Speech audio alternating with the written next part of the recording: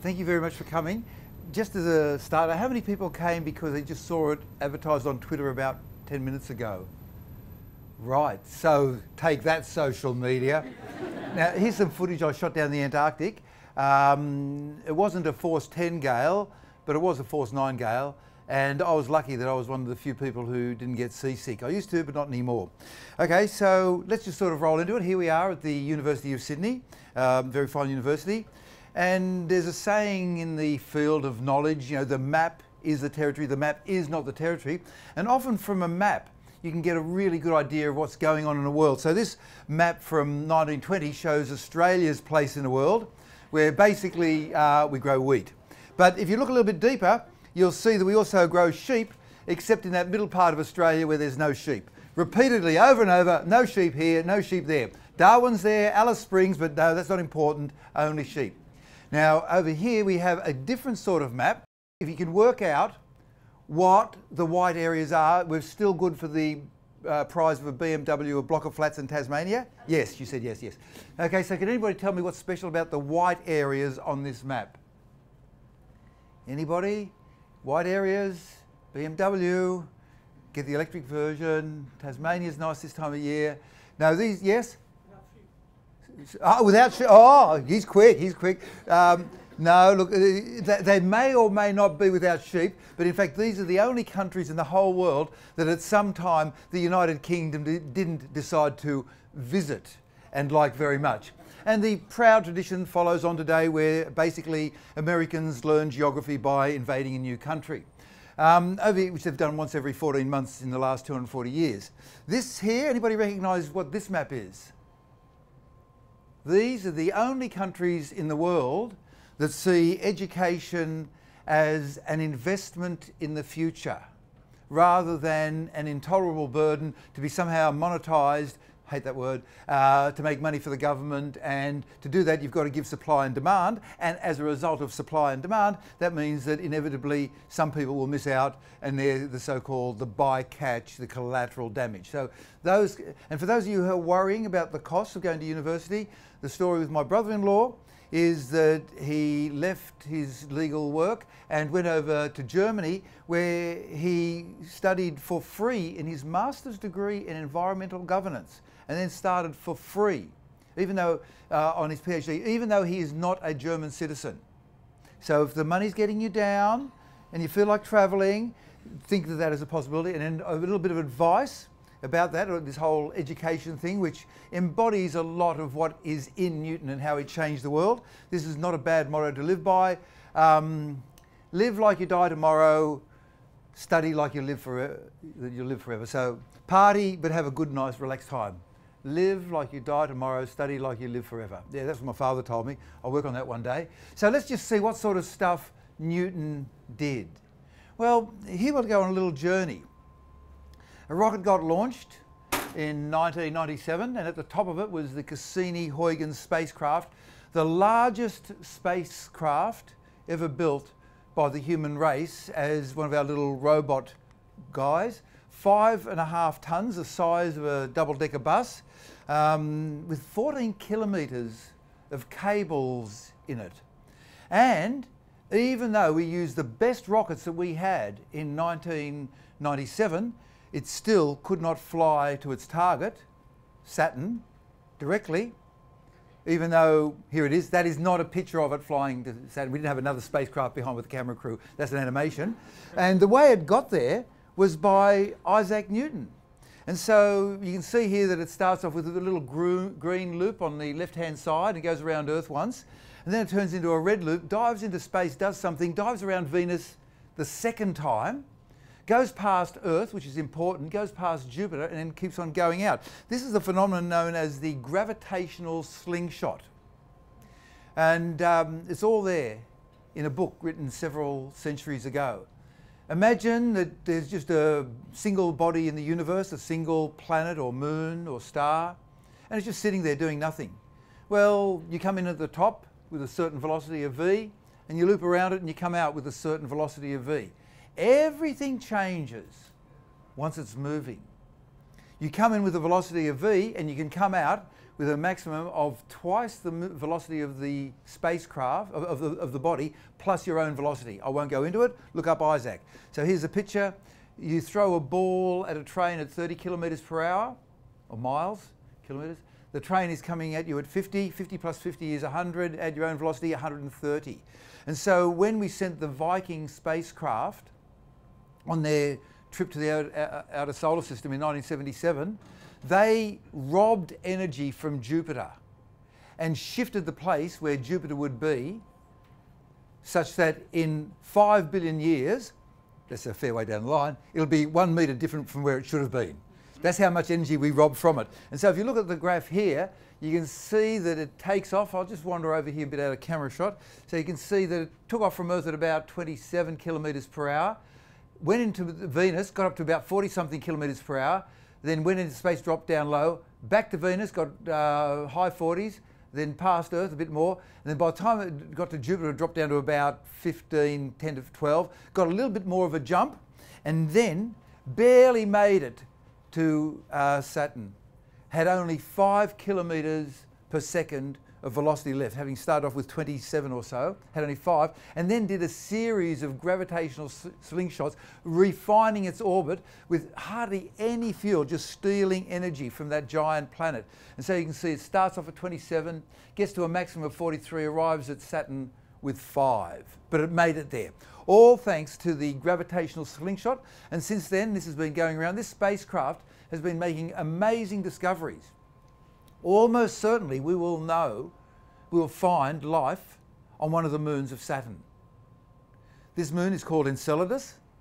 It is a small rocky moon entirely surrounded by an ocean of water held on there by gravity, thank you Newton, and that is then covered entirely by a layer of ice that is 5 to 15 kilometres thick and at the North Pole the ice is thick all the way through. At the South Pole there are cracks crevasses and coming out through the holes, through the crevasses, uh, water, which turns into ice immediately, and the, the chemicals of life, fat, proteins, carbohydrates, and hydrogen, which if you do your basic metabolism physiology 101 stuff, is important as a fuel for life. And if the hydrogen is too high or too low, there's no life there, but if it's in between, there probably is, as well as the fact we've found very fine rocks, which mean that there are hydrothermal vents. So all of this goes back uh, thanks to our boy here, who is painted by William Blake, playing with some compasses there, and that's the old version. The new version has him with glasses and a bolt coming out of his buttocks. I'm not quite sure why. You can recognise this, the famous um, Dark Side of the Moon album, The Colours of the Rainbow. Yes, Isaac was the guy who came up with the idea that colour is something intrinsic to the light that falls on an object as well as the object. It's not one or the other, it's both. And by the way, just for fun, he invented the uh, refracting telescope, no, reflecting telescope. He invented it. And of course, he looked like a, a rock star on a badass metal band. And here's his signature.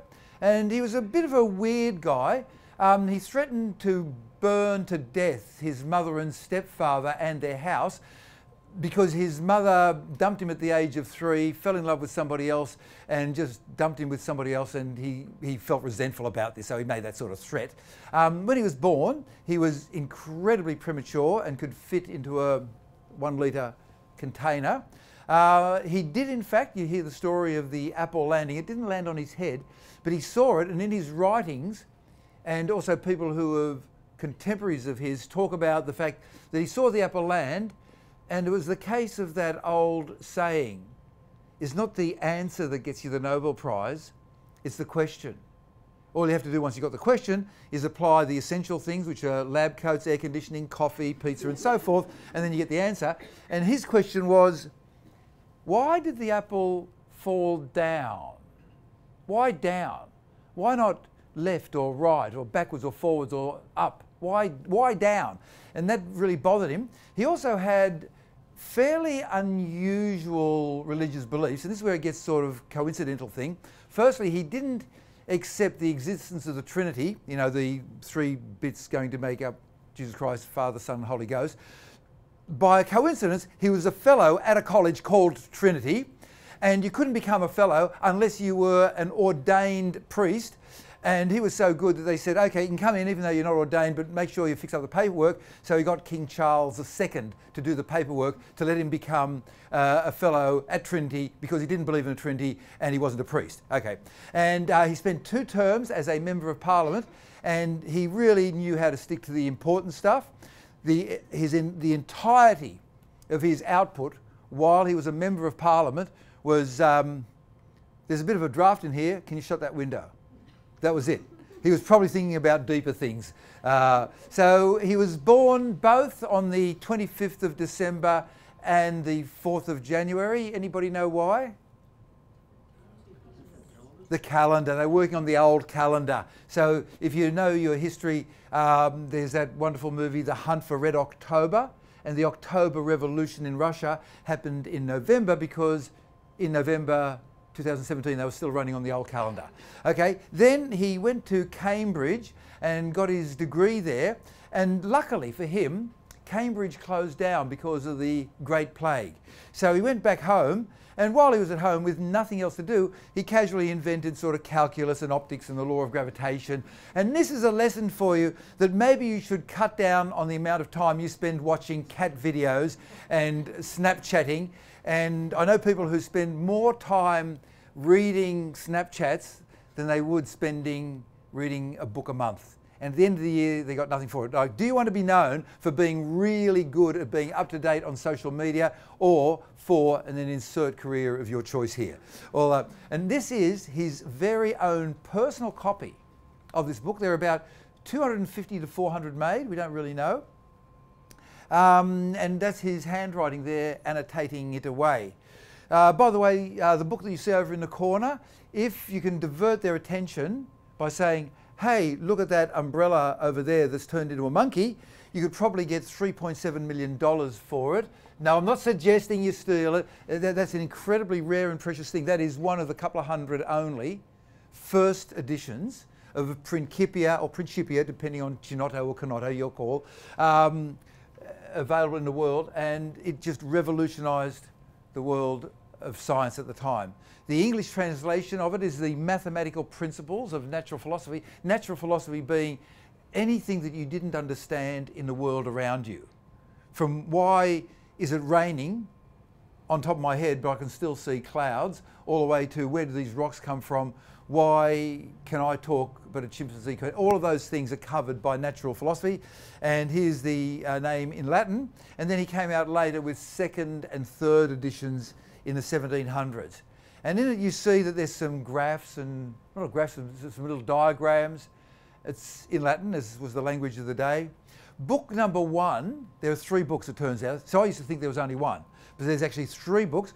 The first one is on how bodies move in what you might call a vacuum, but also without the influence of gravity, because gravity makes things change. So he's looking at the movement of bodies without a resisting medium of some sort, and then factoring in tiny bits of that. And along the way, he reinvented calculus, which he'd done a long time ago, played with Kepler, came up with the famous oval theorem. And are there any mathematicians here? If you ever come across a mathematician, uh, the trick to do is to say, what's your Erdős number? And uh, if your Erdős number is one, uh, they've written a paper with a famous mathematician called Erdős, who was a brilliant mathematician of the 20th century, who basically lived on amphetamines and just would go to people's houses and stay there for two weeks until they burned him out. And he was totally unable to live in a modern world. And so it was a great honour to have Erdős, and you get a phone call saying, I'm sick of him, I'm sick of him. Can you please send, can, can you get can you take him and say, yeah, I'll take him. It's a great honour to have him. And you'd go down to the airport and you'd pick up Erdős and he'd move into your house. And then after about three days of doing mathematics, you'd be um, in bed with your spouse late at night at three o'clock in the morning. And suddenly he'd come in and wake you both and say, it's raining and there's water coming in through the kitchen window. Because he'd be in the kitchen having more coffee. The idea that he should shut the kitchen window didn't occur to him, but he would wake you to tell you that.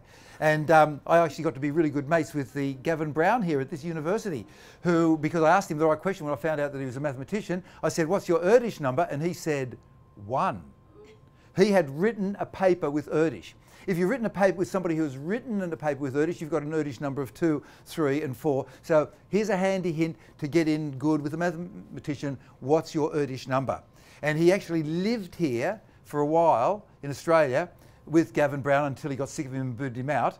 And um, he got Gavin into trouble. You see, Gavin uh, used to take every Wednesday off because he realised a great truth about gambling at the races. In, let me careful, be careful with my words. In some cases, it has been alleged that gambling might be crooked, and that in some cases, the smart money knows which horse is going to win. And it's complicated. Is it interstate? Is it in your hometown? Are there people coming in? Is it a weekday? Is it the end of the week? Is it a Canterbury race course or a Randwick? Anyway, Gavin had, for whatever reason, thought that, that some of the races were crooked. And so he'd go out to the races and not know anything about the horses at all. Didn't care. And he'd just look at the odds on the board as they rolled across, and he, he had recognised the pattern.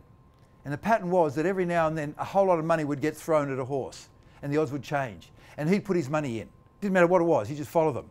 And uh, so he won fairly consistently while smoking cigarettes. That's Gavin for you. Anyway, so he had Erdős at his house, and Erdős came down. He had a special dinner for Erdős one night, and Erdős came down um, bearing a book, a mathematics book. Um, knowing the, and he said, Oh, I was looking up this book. He didn't turn up at the dinner party because he was too busy reading this maths book. He said, Oh, look, I, I was reading through this um, book because I was trying to remember something, and I found $15,000 in it. Um, and over here on page 43, it says, and Gavin's wife said, What other money do you have stashed around the house that I don't know about? so, anyway, Isaac Newton was a mathematician, right? Getting back to that. And so he did the oval theorem and he did all sorts of stuff that relates to the solar system. He came up with the shell theory, which says that if you've got a really big body, you can treat it as though having its gravitational influence, whatever that is, as coming from a single point at the centre by the shell theorem. And he did the three body problem where if you've got this body and that body in the universe, and all you have is two bodies, and they're just moving around and there's nothing else in the universe, you can solve that problem. Even a first year university student can solve that. You add in a third body, it makes your head hurt. And he did some work on the three body problem uh, in his book. And then in book two, he was looking at what happens to bodies as they move through a medium that resists their motion, like a boat, an aeroplane, anything that is resisting a magnetic field, gravity. And so he did the different cases of the resistance is linear or square or cubed and all that sort of stuff. He invented hydrostatics and properties of compressible fluids and wind resistance on pendulums, all sorts of stuff, very deep stuff. This book, though, is looked upon as though an, it's an intermediate book, not as important as books one and three. And then book number three was on the system of the world, which I think is a charmingly modest title, yes. I wrote a book about the entire universe, and I've sold it here. It's here in pages 1 to 500. Go for it.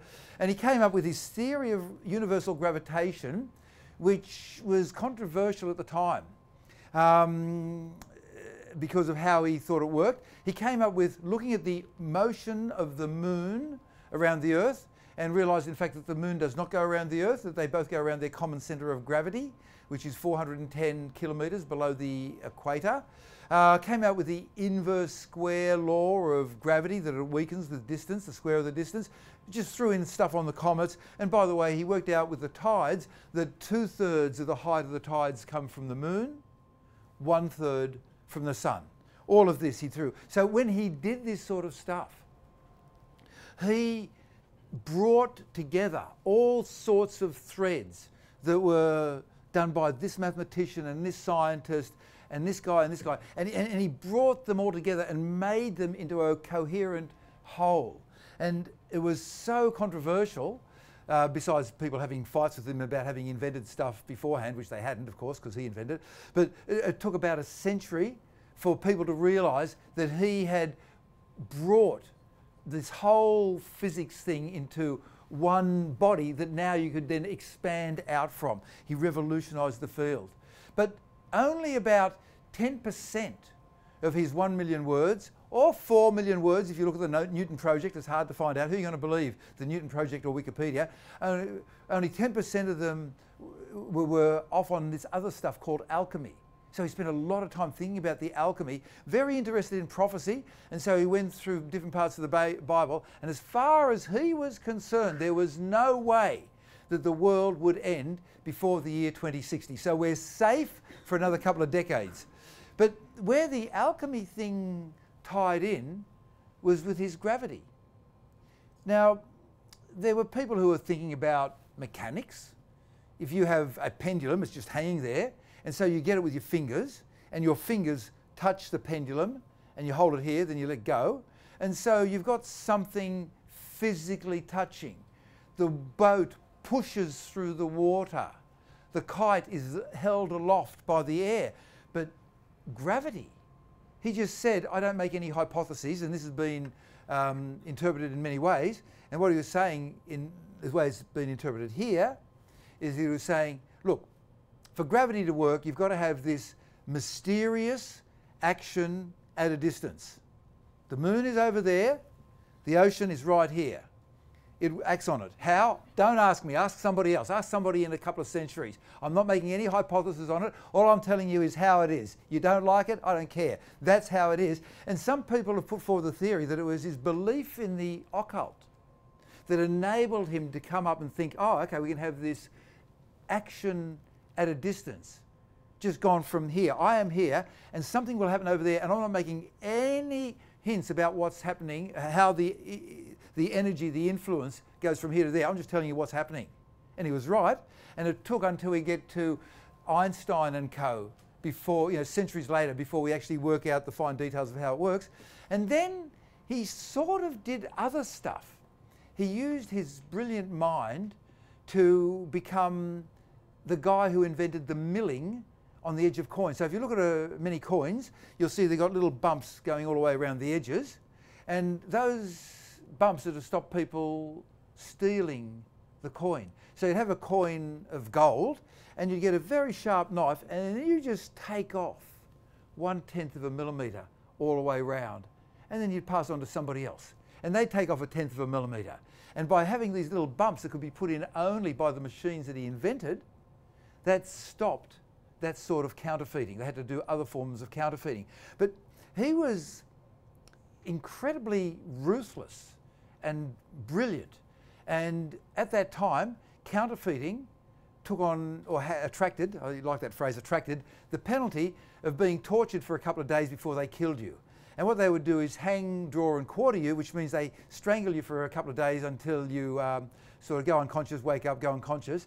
Then, they, then they cut you in a big X here, pull your guts out, show your guts to you, present them to you, and then get one horse tied to a rope on each arm and leg, and then pull you to pieces slowly over four days. And anything that's left, they hang off uh, a gibbet. And, and this was the crime for counterfeiting, and people still did it. And using his brilliant mind, he actually went underground like the Phantom. Anybody else use, read the Phantom comics? Am I the only one? Okay, Phantom. He go underground. He actually disguised himself. This guy who had was the president of the Royal Society, who had received a knighthood from Queen Anne, who was one of the most brilliant minds in the whole world. When he did something, when, when they, the mathematicians would have conferences, they'd have competitions, and they'd, people would mail in their solutions and he would mail in his solution anonymously, and people would say, ah, the lion reveals itself by its paw.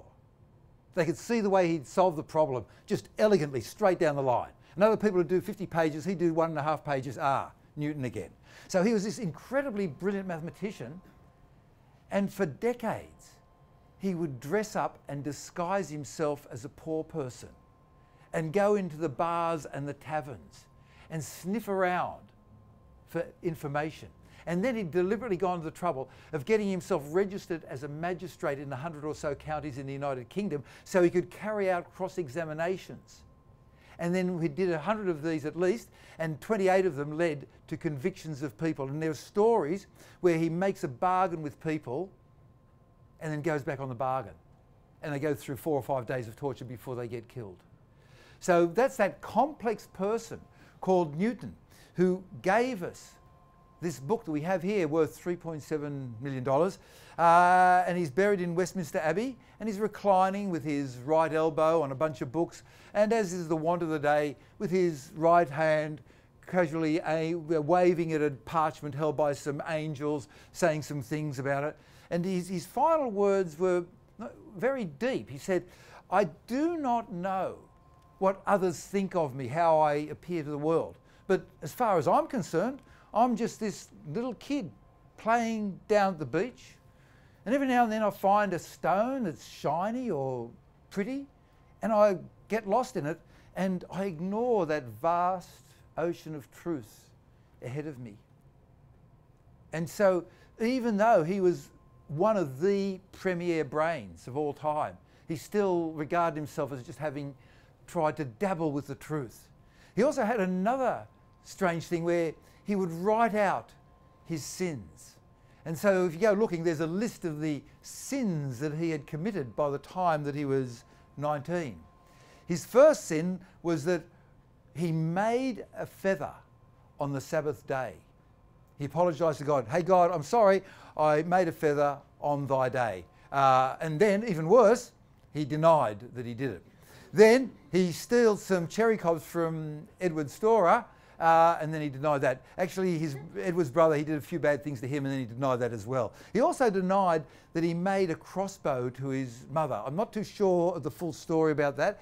He also uh, felt very sorry for, and tying a cord on Sunday morning. I don't think it was that he just did up his trousers. I think it was making a rope that you could use for some other purpose. And um, even worse, this shows how guilty he was at the age of 19. He um, confessed, he apologised for reading the history of the Christian champions on a Sunday morning. So this guy was a truly complex man who gave us the world that we have today in so many ways. And if you go over there, you can look at the book and maybe breathe of it, knowing that you are in the presence of something that has revolutionized the world that we are in today. Thank you very much. Yep.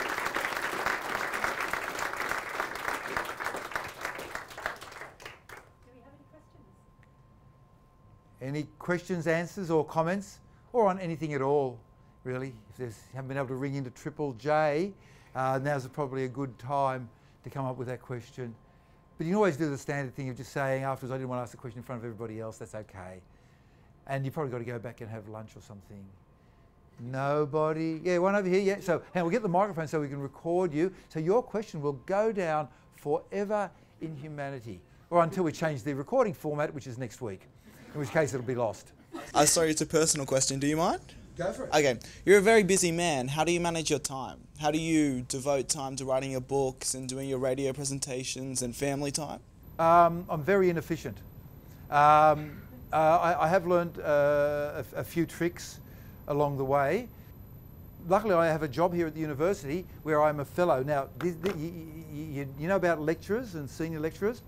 There's a really cushy job called a fellow which I have got. I'm the Julius Sumner Miller Fellow, and what, what it means is you don't have to do anything. and they pay you. I got a free glass of water. That's how much, right? And so, as a fellow, you don't have to do. Eh, there's a better job, by the way, called a reader, which is professorial level. And once again, you don't have to do anything. So I don't have to do any administration, supervision, exam marking, paperwork, nothing. Um, and what, it, what I happen to do makes them happy. And so a fellow, for example, could go down to the beach and see that the waves are coming in and um, that the uh, tide is coming in. And then hang around for about six hours and then suddenly notice that the waves are still coming in, but the tide is going out. How come the waves are coming in if the tide is going out and then a fellow can do that? So my position here allows me to have that time to do stuff. So on one hand, I'd try to be efficient and relentlessly brutal, but on the other hand, I'm really distractible. Like I was supposed to write book 43 a couple of months ago, and I was discussing with my wife how I should really wax uh, the car we bought for $250. And she was saying, why don't you wait till after the book? And I came up with a whole bunch of other ideas of things that I can do. So I'm really good at procrastinating. But eventually the panic gets me and I get into it. One, one thing that I have done is I've put myself deliberately on a conveyor belt that demands for products every week. So for the last three years, three decades, I have put myself through a regime where every week I have to generate three stories of something weird that I have discovered in the world. And it's not just magazines like National Geographic, Nature, Science. I also read Australian Potato. The, did you know that we've got a bit of a fungus thing going on in Australia? And also Circuit, the Journal of the Electrical Engineers, or the, the Sparkies. And so I generate three stories in a soft form where they're sort of floating in my head, but I've formalised them, and a, a, fourth story which I have to write and perform on radio. And that forces me, this deadline forces me. So maybe you could have your phone say, you have to do something deep today, invent something, think something deep, or I don't know. So, do, do you? Uh, hang on, microphone coming back so we can record it. Yep. Pardon. Uh, do you hold yourself accountable to those to those deadlines? Say like you won't you won't relax on the weekend unless you meet those deadlines, or is there, is there some sort of um, consequence of not meeting those deadlines? Weekend, ha! There have been many occasions. Yeah, there is a consequence that there's a big hole, and there's what we call in the media black air, right? You can't have black air, so you can have the situation where. Um, I have to record a story every Thursday. Um, I'm recording, and I, and I have to record it at one o'clock. And sometimes I've sent it to my producer at 10 to 1. If it wasn't for the last minute, nothing would ever get done in my case. So I, I have to get those deadlines. Those deadlines are locked in. I'm, every Wednesday and Thursday, I'm on a treadmill where I'm doing the eight radio shows, two TV shows, one pre-audio pre-record, and then two Skypes with schools, uh, science Q&As somewhere around the world. And so I go in on Wednesday morning, and hopefully I've got everything prepared, but sometimes I haven't.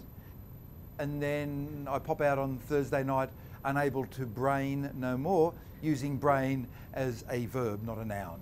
I, I can, I can walk and I can talk, not both at the same time, but that's about it. I don't have a lot of brain function left. Okay, another question. Uh, yeah, okay. Uh, here we, our job is to make Julia, Julie run. okay, so here we go. Yes. And if you have to run off to class, that's I, I um, understand. Hello. I was just wondering if there's ever been a serious study of Isaac Newton perhaps being a non-violent sociopath or psychopath. I've just been reading yesterday about a neuroscientist who he, one of his processes when it, when asked to um, participate in a in a court case would be for people to send him scans with control cases in it, and he accidentally diagnosed himself as a non-violent psychopath because he, his own scan was in it. And I think, in light of all the things, and it's an unpleasant sensation to actually ask that of someone that we actually really love. But I thought I've been reading up on Newton and some of the things that has been written about him and some of the things he's volunteered himself would be in modern day um, psychiatry be diagnosed as borderline or even a non-violent psychopath. Yes, thank you for bringing that up. I didn't want to bring it up because it would have taken us beyond the 27 minutes. But yes, on average, I've written about this in one of my books, which you can find in this fine library. Um, on average, 1% of females, sorry, 1% of males in this room and 2% of females have psychopathic tendencies. And these psychopathic tendencies range all the way from stealing somebody's coffee whenever you get a chance, all the way up to being a serial murderer. And what keeps people in line is, according to Steven Pinker's book, The Better Angels of Our Nature, do read that book. It's got two to the 10th pages in it. They're a tough audience, 1,024 pages.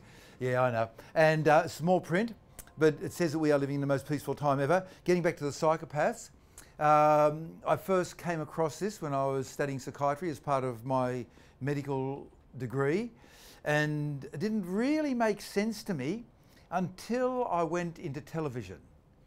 And to my surprise, I saw these people I recognised as having psychopathic tendencies around me. It took me a few years. I, I, I, could not believe it.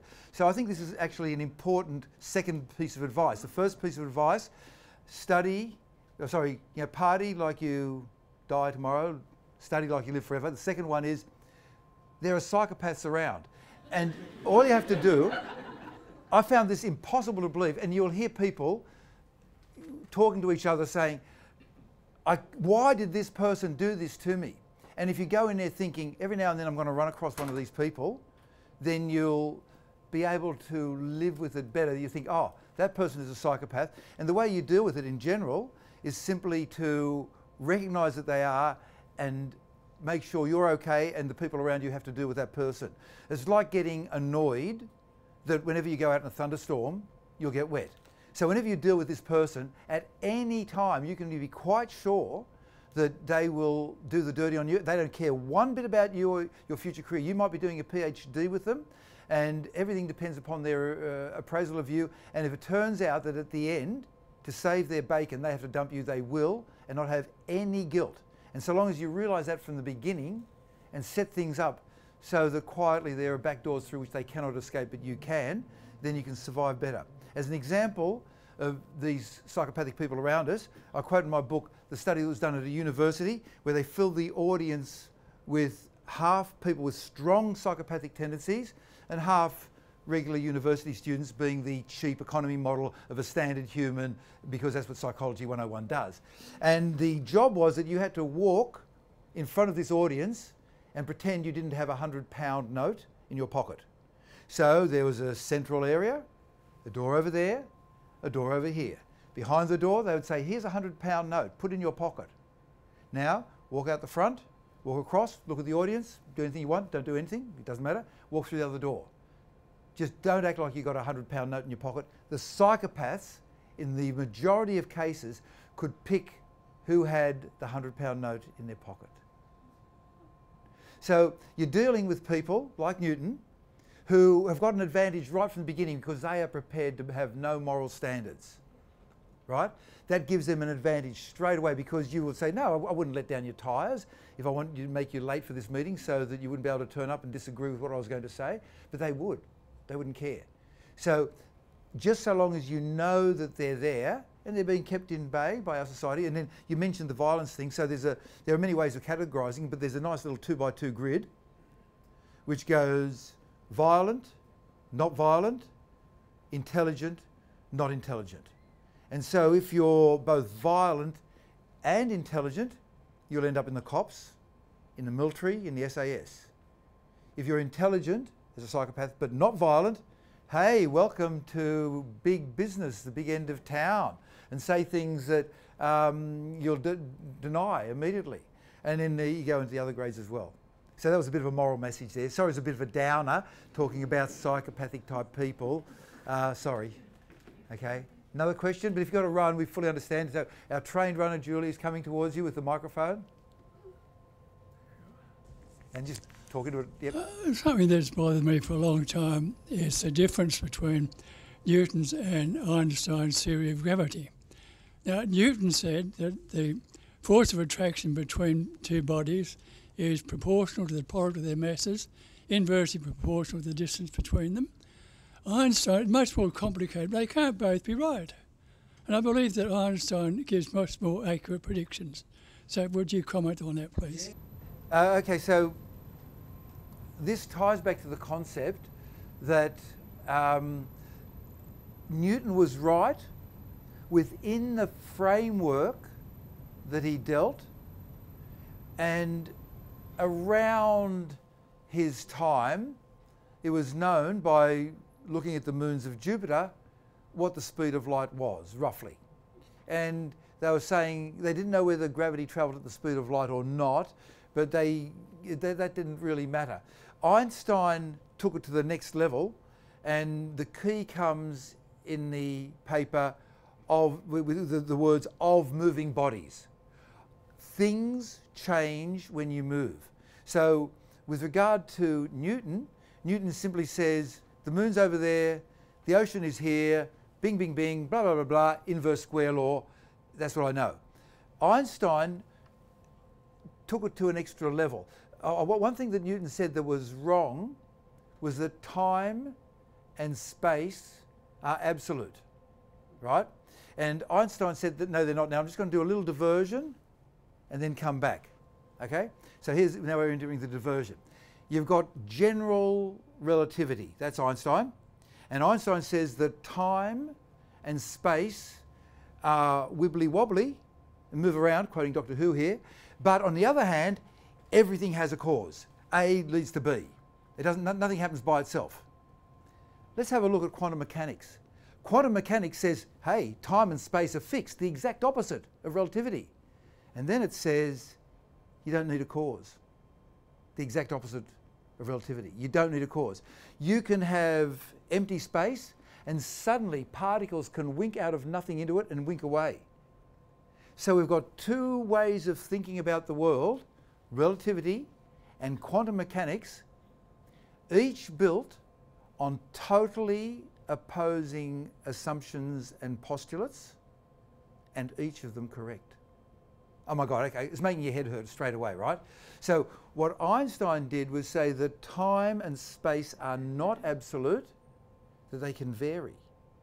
And that subtly changes things only in extreme cases. So, in the world around us, no difference. In the planets orbiting the sun, no difference until you get to Mercury.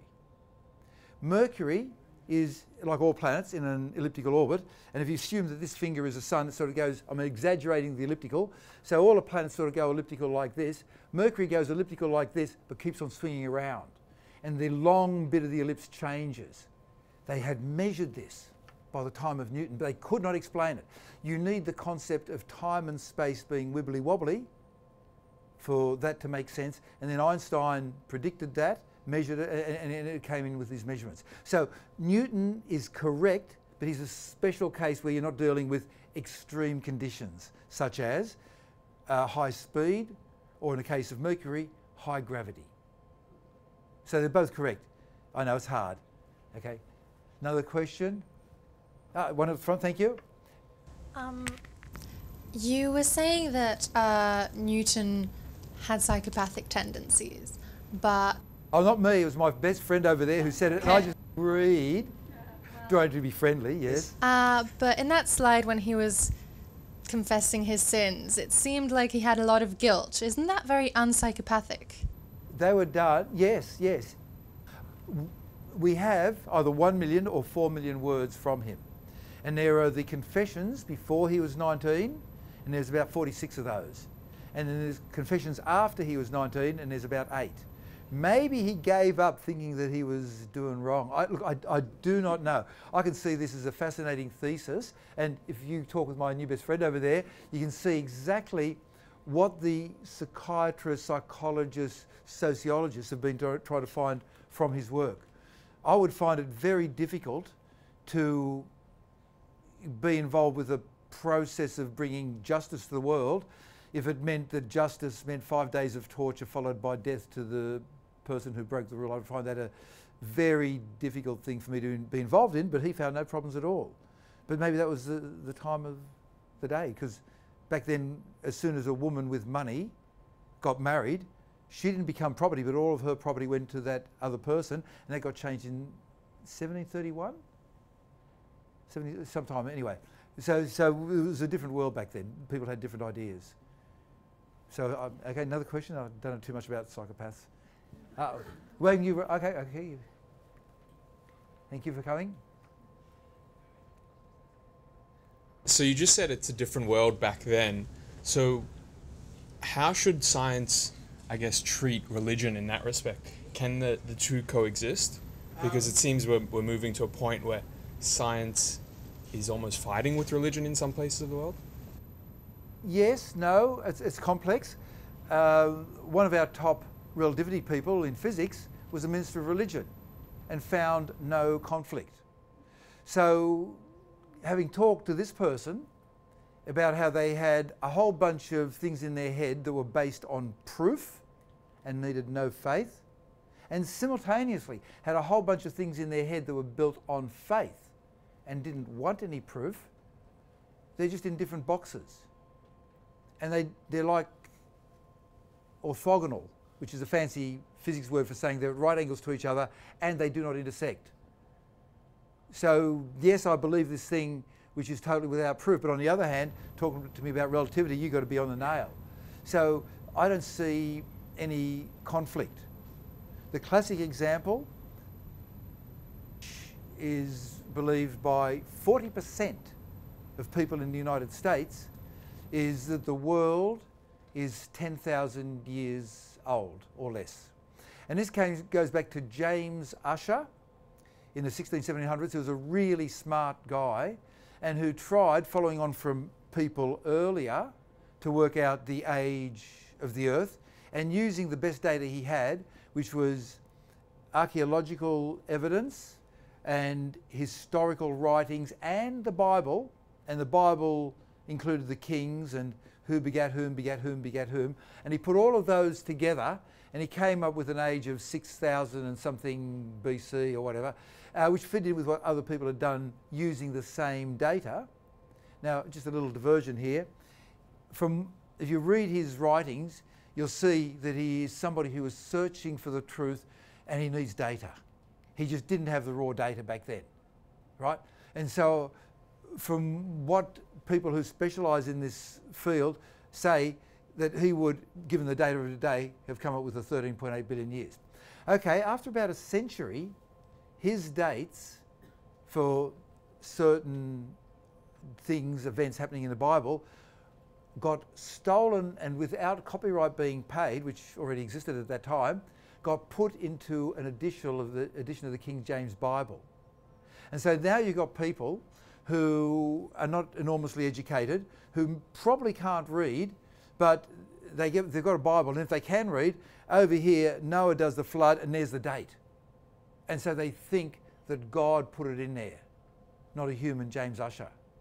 So overwhelmingly, uh, from having talked to people who are scientific and who are both religious and scientific, they don't see any conflict. Maybe that's an ideal world. Where are we? Another question now?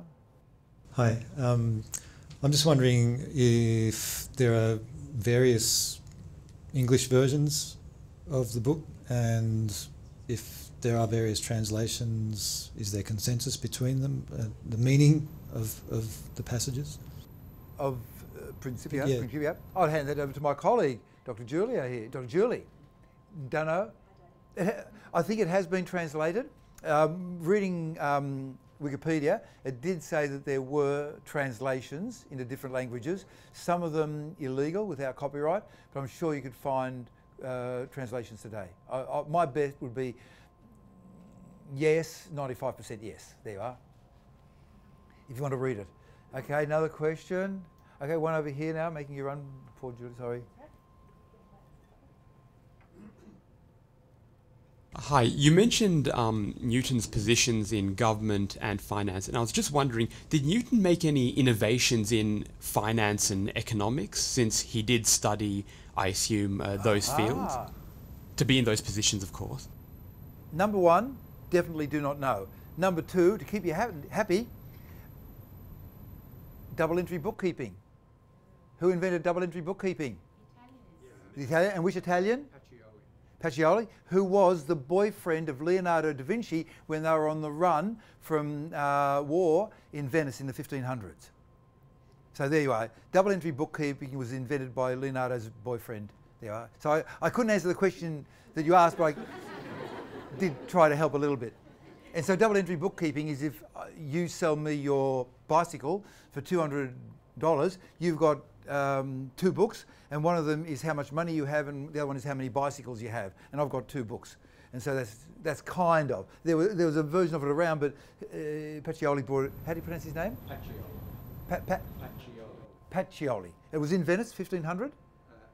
Ab- about that, about that, roughly. Yep. Okay, no other question? Yeah, one over here?